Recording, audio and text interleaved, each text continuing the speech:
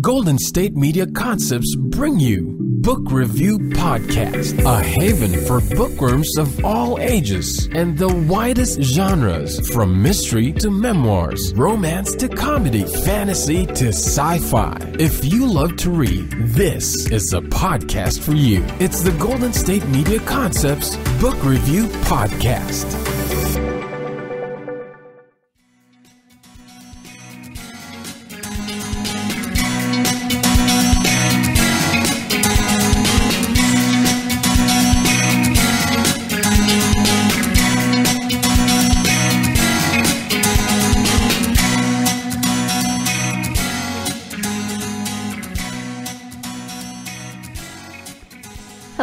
And welcome to the GSMC Book Review Podcast, brought to you by the GSMC Podcast Network. I am your host, Sarah, and I am happy to be with you again for another author interview. I hope you're having a great week. It is um, the week before Easter, often known as Holy Week. So, for those of you who celebrate Easter, um, happy Holy Week to you. For those of you who don't celebrate Easter, happy Tuesday. and I hope you're having a great week. So, as I said, I do have another author interview for you today. I was. Um, pleased to interview John H. Brown this past weekend about his new book, Augie's War. Uh, let me give you the description of that book. Um, Augie's War is an outrageously funny but deadly serious novel of war, family, and coming of age. Augie Compton has to find a way to survive his deployment to Vietnam, so he escapes the horror and insanity of war by retreating to his safe haven, a cerebral sanctuary where he can reflect on family and friends, humorous incidents, and a coterie of unforgettable characters from back home. But now, as his tour is about to end and the war intensifies, he faces a legal and moral dilemma when corrupt superiors make criminal demands on him. If he refuses to comply, he might end up dead, a victim of friendly fire. So now it's up to Augie to survive both the war and the demands of disreputable, disreputable officers in order to make it home in one piece. So this is um, a book about the Vietnam War in some ways, but it is. Let me back up and say that I was a history major. I'm sure I've mentioned that before. And um, a lot of history centers on politics and war, understandably. Those things kind of, you know, drive the world a lot. Uh, war was while I understand its importance in history, the, the details have never been my favorite thing to study. So I'm not um, I'm not immediately drawn to books about war necessarily. Um, I yeah, I do I, have talked about um, World War II novels. I, I, do read a lot of World War II novels, but if you have noticed, it's the relationships in those stories. It's the the story beyond the war, and I haven't done a lot of reading uh, of novels or books about Vietnam. So on the one hand, this was really interesting to read in um, an era of history that I haven't read as much on. But also, it's it is a book about Vietnam, but it's so much more than that because it's about relationships. It's about the things that Augie struggles with. It's about the things that Augie does and thinks about in order to make it through the situation that he's in. So it is. Um, almost two parallel novels where you have Augie in Vietnam and then Augie in Riverview where he grew up. So he in his mind he goes home to Riverview and he thinks about everything that led up to his deployment to Vietnam. He thinks about the people that he came in, in contact with, and there are some really interesting secondary characters, not even secondary characters, just characters that he talks about briefly uh, that were in his town that he grew up with uh, that made an impression. And so, yeah, there's a lot of humor. Um, it is a very serious topic. There are very serious issues that and dark issues that are dealt with in the book, and yet there is warmth, there is humor, and um, I really loved all of the ex- exploration of relationships and the way those relationships and the familiarity of home can really help someone like Augie in the situation that he finds himself in. So that is the description of the book. That is uh, my brief synopsis of the book. And now let's let John talk about his book. So again, the book is Augie's War. It is by John H. Brown, and I do have actually signed copies of the book to give away. So if you are interested in this book, stay tuned to the end of the episode and you can find out how to enter to win a copy of Augie's War. In the meantime, let's go ahead and turn to that interview with John H. Brown. Hi, John. Welcome to the podcast. Thank you. Good to be here. It is great to have you here, and we are here to talk about your book, Augie's War. Before we get to the book, though, um, I would love to just get to know you a little bit. So, if you could share a little something about yourself. Sure, sure. Uh, well, I guess I can just tell you. First off, uh, I am um, a senior citizen. I'm uh, 73 years old. I live in Charleston, West Virginia. I'm originally from a little town in northern West Virginia called Clarksburg. That's where I was born and raised. And uh, while my name is Brown, uh, my father, who's Irish, uh, moved to where my mother lived in West Virginia, and she is Italian. So I grew up with uh, an ethnic uh, Italian American influence, a large family. My grandfather, who came over from um, Calabria in around 1900. Um, worked in the coal mines for uh, for about 15 years, and then um, saved his money and built a bakery. So I grew up working in my grandfather's bakery and surrounded by my cousins, and so that influence was a big part of uh, of uh, my upbringing. Eventually, um, went to uh, college. I graduated from West Virginia University in 1968 tried to put it off as long as I could because the the Vietnam War was raging and wasn't particularly interested in, in, in going there. But unfortunately, got drafted, went to Vietnam, served a year there, came back, and um, uh, basically wanted to write about my experiences over there. I'd always been a writer. I'm a journalism graduate from West Virginia University, and uh, started writing. But then um, life got in the way. Got married, and um, had a child and had to get a, a, a real job. So had to put the book on the back burner, and it, it stayed there.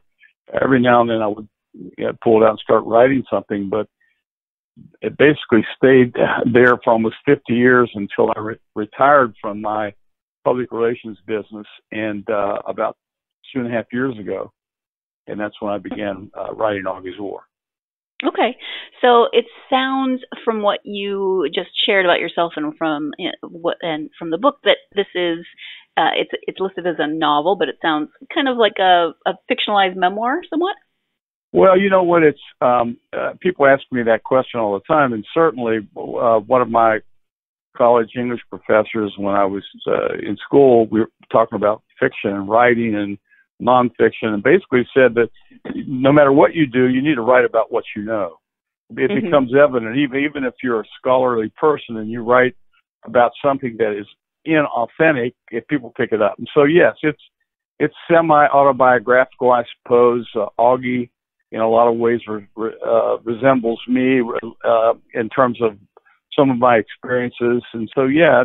But it but it's uh, but it is fiction. I mean, I the, the, I changed the name of my hometown, the Augie's hometown, and, and but it is set in uh, the early parts of it are set in, in West Virginia. But uh, yeah, so I guess I guess there are elements of auto, autobiography in it. Uh, mm-hmm. But again, it's it's uh, a lot of it is uh, just out of the diseased mind of uh, of, of me. So, what was your jumping off point? What was your, your inspiration for the book? Well, you know, I, I've always been a, big reader. I've, I've, I've read a lot of different things, and I was really, uh, when I was uh, younger, I read a lot about World War II growing up and in college, and was really um, influenced by Joseph Heller. And I don't know if you've read his book Catch Twenty Two. It's, uh, it, I think it's one of the the great novels of the last century uh, and it it's a it's a almost um, and it was kind of you know I think it was published in the 60s or maybe even in the late 50s, but it was uh, definitely g- gave you a different look about military about the military industrial complex about uh, wars and who fights them and how insane they are. And I was really taken by him. And I thought at some, point uh, I'd like to write, not necessarily like Joseph Heller because he, he's a, a great writer and I wouldn't want to try to mimic him. But when I got in the army and, and I had some experiences, I realized a lot of this stuff that he wrote about, even though it sounded really crazy, was kind of realistic. I mean, truth sometimes is stranger than fiction. And so when I began to write the book, um, I thought, well, you know what? That's an element that that I really need to uh, talk about. And that, and in my novel, there are a lot of um, uh, interesting characters, and some some of which, some of whom, are are strange. And uh, but but again, um, I think that they they represented kind of what we as soldiers had to deal with, uh, particularly as it related to the the the officers and the people that ran um, our our division where I worked. So I, I use that, and I also I, I like to think of my book as as more than a, a war book because uh, when I was writing it, I was really concerned that it would just it would you know there were people people within a certain demographic would only be interested in it, and so I went to great lengths to have. Uh, about 10 professional women, friends of mine, be beta readers of the manuscript. And so they, they really helped me a lot, gave me some pointers, told me what they liked and didn't like. So I think ultimately, um, the finished product is really about war, yes, but it's also about coming of age. It's about family. And, um, I think, and this is no criticism of people who have written about Vietnam, fiction about Vietnam but most of them are kind of blood and guts, and they don't really get into the um, uh, the real lives of of the men and the women who served over there, love interests, um, you know, uh, home, family, and and I think probably there's as much of that uh, in my novel as there is about the actual Vietnam War. Mm-hmm. Agreed. Yeah, Augie tends uh, to take his home life um, he he brings it with him to Vietnam, and that that that kind of helps him yeah. to cope. So we get we get a lot of the backstory then of his family through that. I am going to jump in here so that we can take our first break of the podcast. When we come back, we'll be talking more about Augie as the main character and more about the book in general. So stay tuned. You're listening to the GSMC Book Review Podcast, and I will be right back always on the go, but the day just won't be one without your Hollywood fix. Let Golden State Media Concepts Entertainment Podcast take care of that. An all inclusive look of pop culture.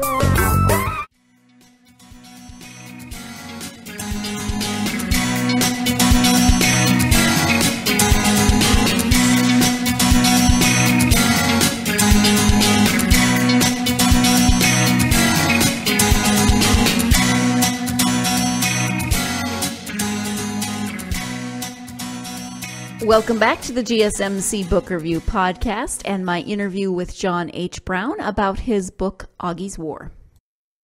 What about Augie do you think will resonate with readers?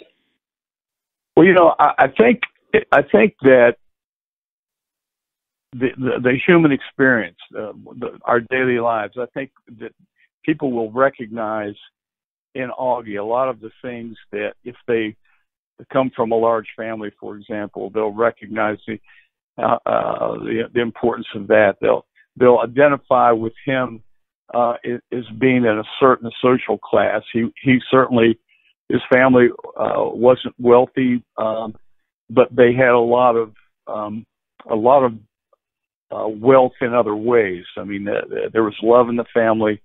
Uh, there was hard work um, that you could depend on people. So I think in in, in the, human side of of Augie's War, uh, the characters I think w- will be easily identifiable, but and also kind of unique. I think there are certain people uh, in our country who uh, maybe second, third, fourth generation.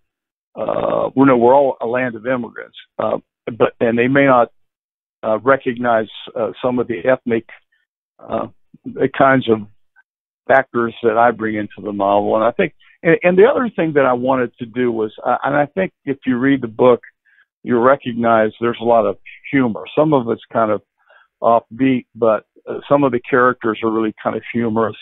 It's kind of a dark um, novel in that respect. It, it's darkly funny. I had one review said that Augie's War was a grim but very funny uh, war novel, and mm-hmm. I think a lot of people enjoy the humor. My, my kind of weird sense of humor, I guess, comes through.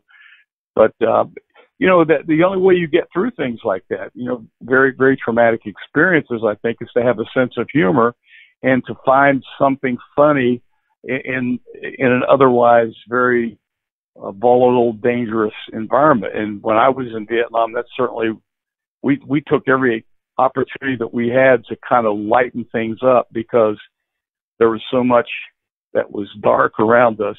And uh, in any event, I, I wanted to show that that uh, you know that, that you can survive in a lot of ways. And the way Augie survived uh, was, was through his friends over there that he served with, very good friends. And and then when things got really bad, he would flash back to growing up and some some of the people that he grew up with, his family, others, and remembering incidents, particularly humorous incidents, uh, that helped him get through the the experience. Mhm. Mhm. Um, it, it, this is based partly on some of your experiences, but uh, did you do any particular research for the book? Oh yeah. Um, one of the great things, you know, I don't know that I would have the patience if I had written this book. If I if, if you told me to write this book 30 years ago, or tw- even 25, uh, I probably would would have been too lazy to spend all my hours in the library looking things up. But but thank goodness for the internet and, and Google and um, you know it's it's a vir- virtual encyclopedia. And so I wanted to make sure that everything, even though this is fiction, when I talked about events that happened, um, the historical uh, events were really important to, for me to get right. So I had the dates are right. Um, you know, while I knew a lot about weapons because you know, I handled them, I went to great lengths to make sure that when I talked about uh, certain um, artillery pieces, for example, or aircraft, that that I got the terminology right. And I depended on a lot of friends of mine who served in Vietnam uh, cousin of mine who flew um, uh, C-130s uh, in and out of Vietnam. Uh, so I mean, I had a lot of, I did a lot of that. Plus, I just, I just was very careful to make sure that everything that I said in the historical context was real. Uh, you know, I talk about, you know, when Augie gets drafted, right before, right before he gets drafted, he graduates. He's going to get drafted in the spring of that year that he graduates three or four monumental things happened. First, the Tet Offensive was in February of 68. A month later, President Johnson decides because of the war, he's not going to run for reelection. A month after that, uh, Dr. Martin Luther King is assassinated. And then in June, Bobby Kennedy is assassinated. You know, mm-hmm. they were burning down the cities. And that's, that's the environment under which I went into the military. I mean, so I I give Augie Augie is experiencing those those same kind of historical um, happenstances that things that are going on and they affect him. They affect him in basic training. There's a, a major racial divide that he is coming from his background, very sheltered life, is is is he just he just can't believe how people um, don't like him because of the color of his skin. It's kind of mm-hmm. ironic. And in one of the passages, you know, he's confronted by an inner city black kid who basically tells him, said, you know, you've been messing over the, the, the black man for 400 years. He said, well, not me. He said, you, you're, you're, you're after me because of the color of my skin. And so the, the black uh, kid says, touche, and he uses an epithet. But in any event, so the, all of those things were a part and parcel of, of the, the mindset that I had when I was writing this book to, to recall incidents and historical facts that really um, combined uh, to, to make this um, uh, a total experience. It, it's, it's certainly a literary fiction, but it's also historical fiction, I think. Mm-hmm. Yeah, absolutely. Um, so how did you kind of as you were writing from your own experience, but uh, also making it a novel, how did you go about um, separate, you know, kind of choosing what was autobiographical but what was fiction? Was, was that conscious, or did just kind of flow out of your writing? Yeah, yeah. I mean, I it's a little both. Obviously, I mean, I, I had the experience. They, uh, Augie, when he gets to to Vietnam, he's fortunate in that he was in a rear area, as I was he becomes an awards writer, as I was. So a lot of those things are fairly specific. On the other hand, some of the things that happened to him and some of the things that happened to his friends, uh, I did not have those experiences. Like I experienced them kind of secondhand.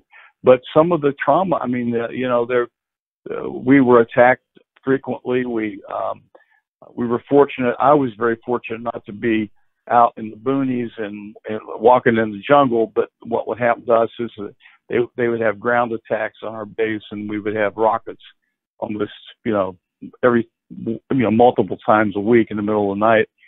Uh, so I shared some of that, uh, but also some of the characters. Uh, I extrapolated. Uh, I like to say the insanity of some of the some of the, the the officers that we've had. I mean, we were kind of unfortunate to, to where I was to have a division that was made up, it was a hodgepodge of, of people who were kind of misfits from other units that were to form this division. What happened was they, they decided to, they needed a big U, U.S. Army division in the northern part of Vietnam where I was.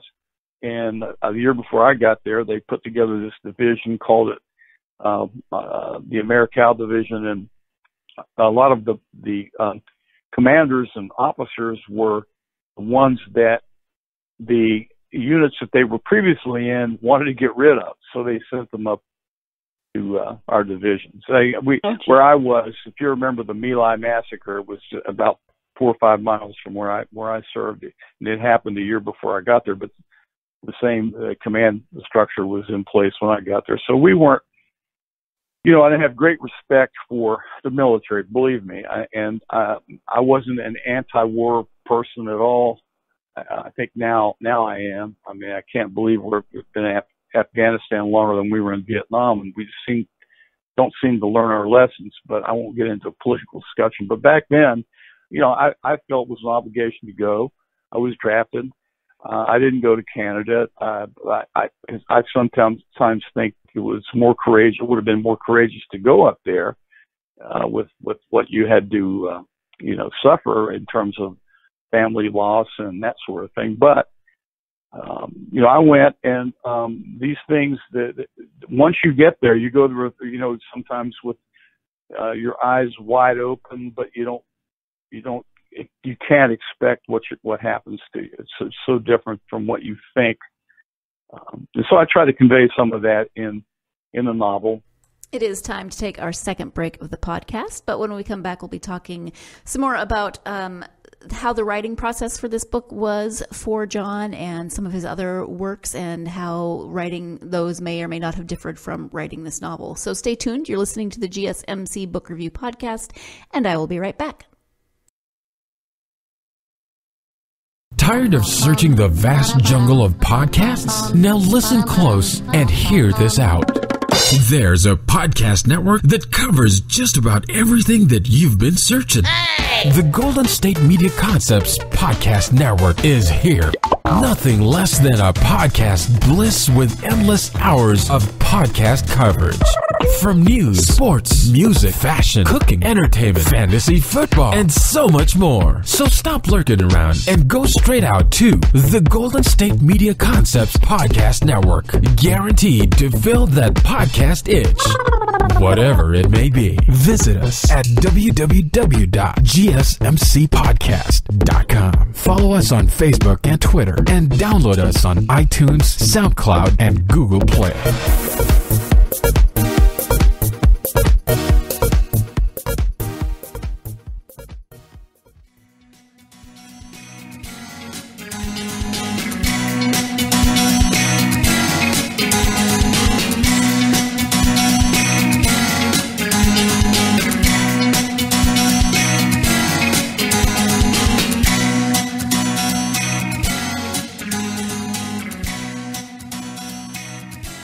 Welcome back to the GSMC Book Review podcast and the conclusion to my interview with John H. Brown, author of Augie's War. So, how how was writing the novel for you? Did you feel like it was somewhat cathartic um, after your experiences in Vietnam, or was it? You know, I never Sorry, thought ahead. of it. I never thought of writing it as a means of catharsis.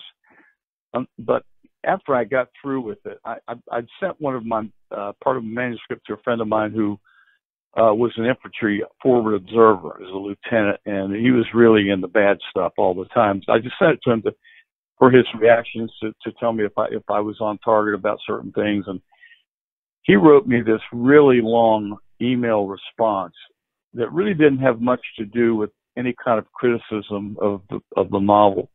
He said he he he thought I was I was always a good writer and he enjoyed the story. And then he went on to talk about how he thought that I was trying to expiate in my the, the my experience, you know, get that was catharsis that that this was a a, a means of me dealing with my negative experiences over there. And I got to thinking about that. You know, I never really thought of it that way because I didn't have the terrible experiences a lot of my friends had. I mean, I mean, it was it was dangerous, and you know, um, I, I, I, I there are certain things that I'll have dreams, you know, twice a year about that that bother me. But I, and I, I got to thinking about it. And I said, you know what, that that that was such a life changing experience that maybe he maybe he's there's an element of truth in that maybe part of that but i didn't go intentionally to write this book to to uh you know just let it all out because Mhm. that wasn't that, that that that wasn't the way I, I started writing it but reflecting back on it now and I, I go back and I'll read passages and I'll say you know what that probably that that part of the story was probably uh me and and uh, writing that may have been, um, you know, helpful. I don't know. Mm-hmm. Mm-hmm. Yeah, sure. Um, you mentioned that you have a journalism major, so um, talk about writing fiction as opposed to writing, you know, the the writing that you've done throughout your career. Um, did Yeah. you just yeah, Sure. talk about that a little bit. Well, you know, um, I um, I've been a, a wine and food writer in West Virginia since 1981, and I, you know, I wrote a weekly wine column in in the local daily newspaper for about 10 years, and then I I, I write now about twice a month in the Sunday newspaper, and I write a monthly column for a statewide business pub, pu- um, um, uh, publication. In any event, I always thought that write. I always loved to write. I mean, writing's hard, um, but I was trained as a journalist, and you, you write. You know, you're you're more concise and that sort of thing. So writing a novel is a lot different from that. I think the reason my book is only about 240 pages is that journalism kind of thing. I mean, I probably I, I don't expound extensively on you know a scene. Uh, so that's one thing. The other thing was that I I wrote the wine columns and the and the food columns as much. I was um, told my wife I'm kind of kidded about it. I said, you know, this is training to write the great American novel. I wanted to keep my skills skills up, and and of course in my business I have a small, a small public relations business which my son um, runs now. Uh, we writing was an everyday thing, whether it was a press release, whether it was um, you know writing a speech for someone. So writing, I think all of that really helped me to keep my skills up. But nothing, it, nothing's quite like tr- writing a book. I mean, I, I kind of tried to outline it. What happened was when I when I retired, I, my wife said, you know, uh, honey, you, you can't start drinking wine at nine o'clock in the morning. I said, why not? you know, I have a lot of wine here to drink. But, but I'm a home winemaker too, so I've been making California wine. You know, get the grapes from California. I mean, I've gotten grapes from Italy. This year we've got um, a barrel full of Amador County Zinfandel right now in Oh, okay. my son's basement. So I've been all over the wine world. I mean, I've been certainly to California a number of times. Been to Italy six or seven, France, you know, Portugal. So we've traveled a lot, and all of it's around food and wine because we would, we, you know, we we visit wineries, we visit the best restaurants we could, and so that, you know, doing that was very, uh, and I still do it. I mean, I've got a um, a um, right down for the, it's a Charleston Gazette Mail, and it's a blog and a column called Vines and Vittles. So if anybody want out there was interested, you could go to the Charleston Gazette Mail in West Virginia and just look for Vines and Vittles, and that's you can the, the, the columns are archived back I don't know ten or twelve years, but and, and I write about food again as much as I do wine. I never write about a wine, recommend a wine without recommending what I think would we you should pair with it with food wise. I, I think wine alone is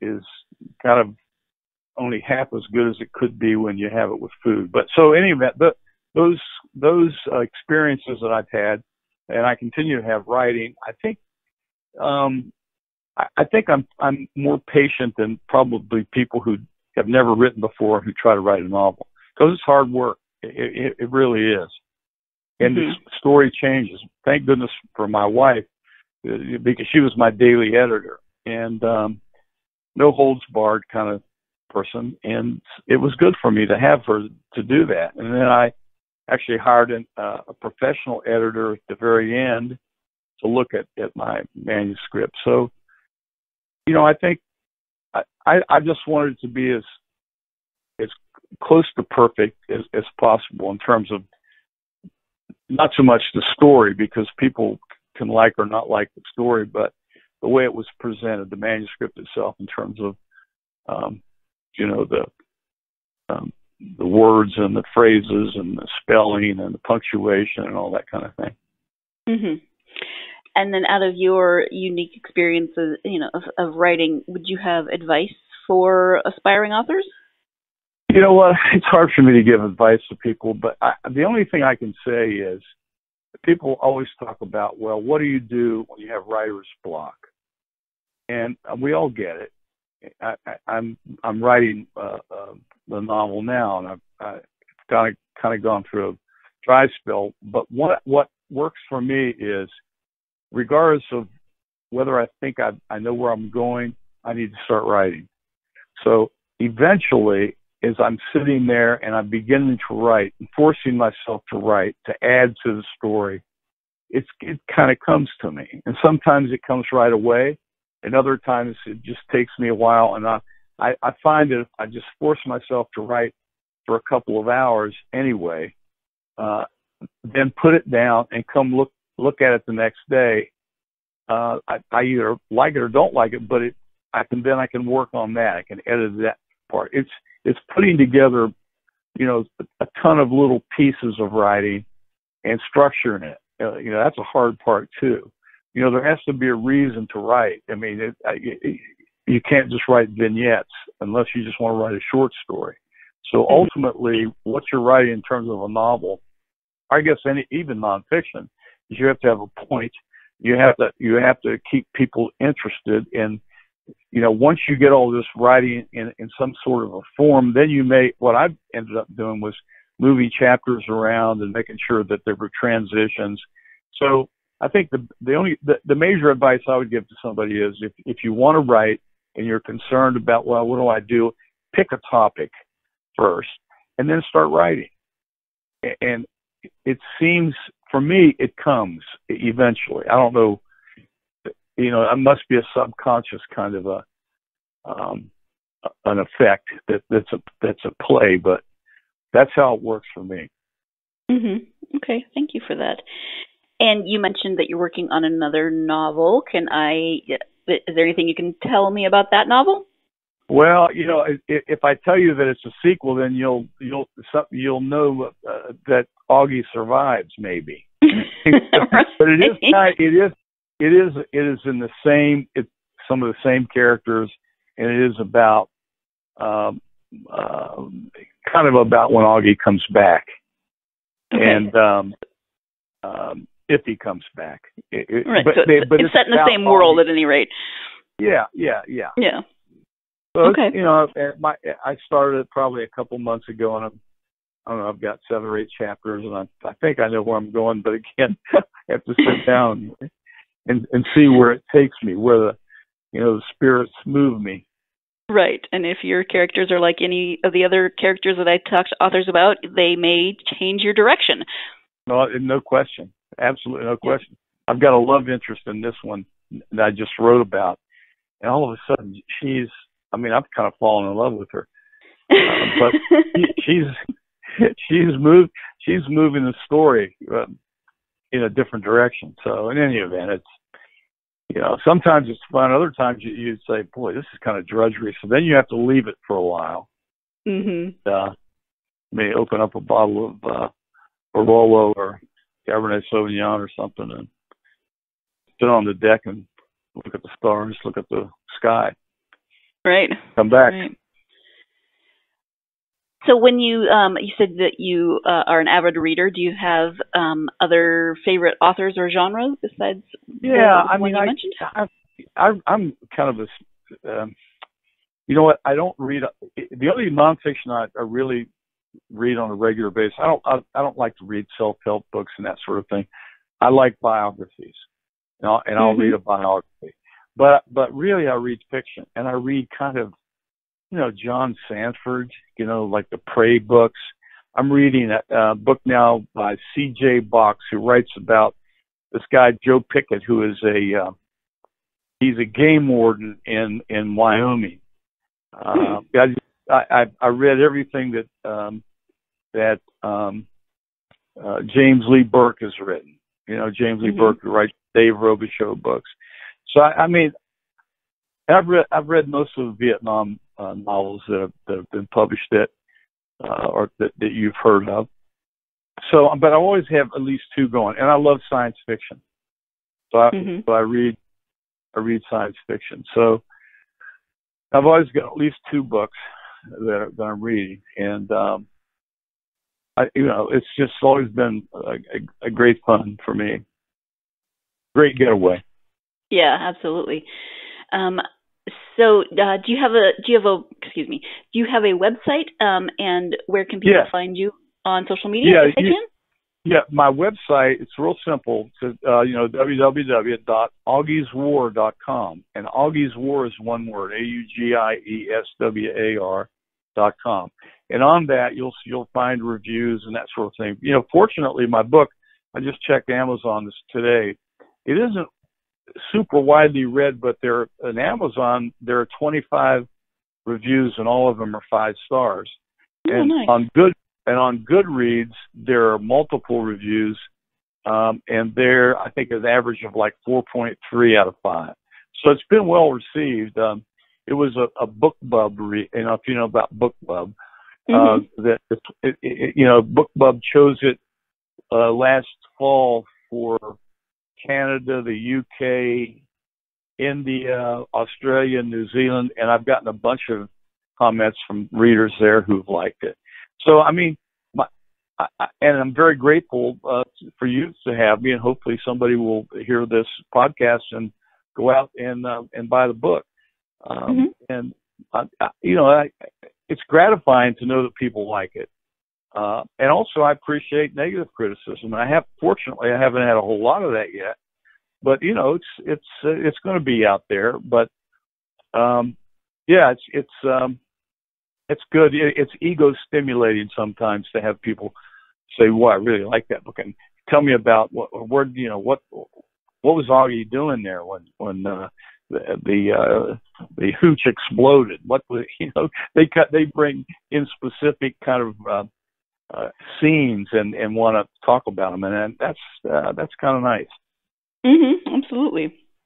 Yeah. So we've talked about um, a number of topics today, but is there anything that we haven't talked about that you would like for people to know about the book? No, I mean it's available just about uh, anywhere online. Um, and if you want, your local bookstore can order it or for you.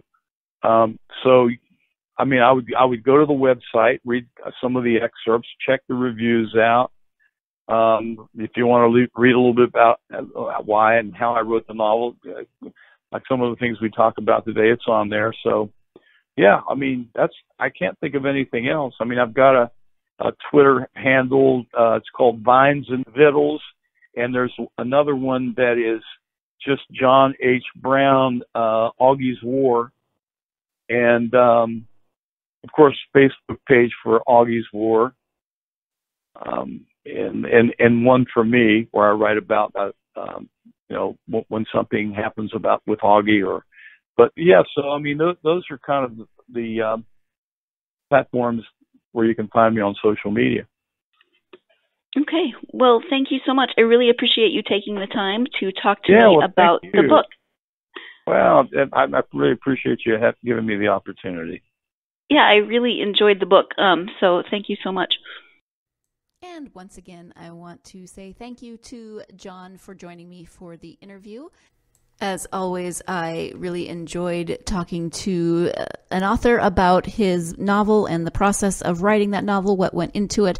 I was very happy to read a book about an area of history that I haven't read much on and need to do more studying on because uh, as a history major, I did study it some, but uh, you know, like I've mentioned before, I, have I've done a lot of novels from the World War II era, but not as much from this era. So, or if it is from this, when I do read from this era, it tends to be more on the um, stateside hippie, peace loving, you know, that kind of angle, and less on the war itself. So this made me realize that I need to do some more research and some more reading. So, John, thank you for that. Thank you for the book. Thank you, as always, to you, my listeners. I wouldn't be here without you, so I so appreciate you. And as part of that appreciation, I have books to give away. So if you are interested in reading Augie's War by John H. Brown, I do have signed copies to give away. It's very easy. All you have to do is go to our GSMC Book Review social media pages Facebook, Twitter, or Instagram. Those links are in the show notes of this show or they are on our website, either way. Oh, and you know, if you follow us, then you already know where they are. Please follow us on social media. I would love that. I would love to hear from you.